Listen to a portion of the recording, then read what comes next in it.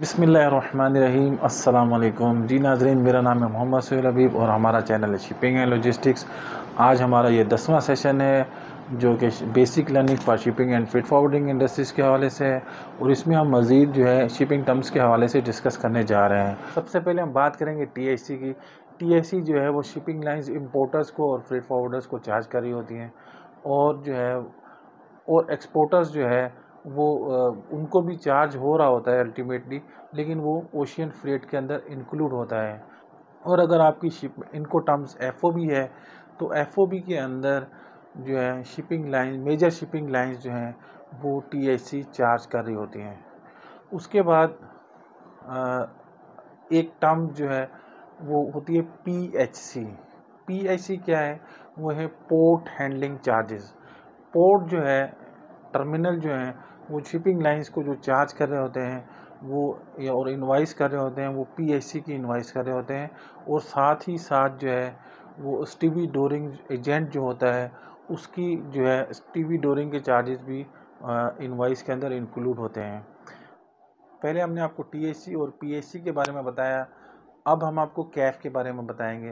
कैफ जो है वो करेंसी एडजस्टमेंट फैक्टर होता है जब करेंसी फ्लक्चुएट हो रही होती है बहुत ज़्यादा तो शिपिंग लाइन जो है ये चार्जेस अप्लाई करती हैं कैफ चार्जेस जिनको हम कहते हैं।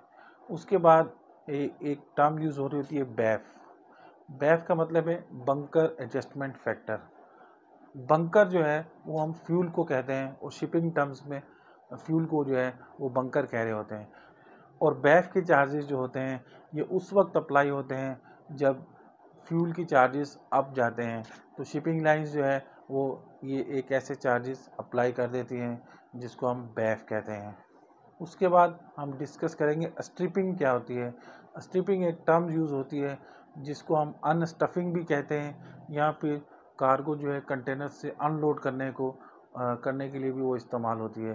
तो इसको हम स्ट्रिपिंग इसको हम स्ट्रिपिंग या फिर अनस्टफिंग कहते हैं। उसके बाद हम एक टर्म यूज़ करते हैं जिसको कहते हैं टर्न अराउंड टाइम ये टर्न अराउंड टाइम क्या है? ये बेसिकली जो है, वो पोर्ट अथॉरिटीज़ वैसल का जो टर्न अराउंड टाइम कैलकुलेट कर रही होती हैं, कि वैसल कब पोर्ट के ऊपर अराइव हुआ और कब उसका डिपार्चर है। उसमें जो टाइम लगता है, उसको टर्न अराउंड टाइम कहा जाता है। उम्मीद है, आज की वीडियो आपको अच्छी लगी होगी। वीडियो देखने का शुक्रिया। अपना ख्याल रखिएगा। अल्लाह हाफिज़।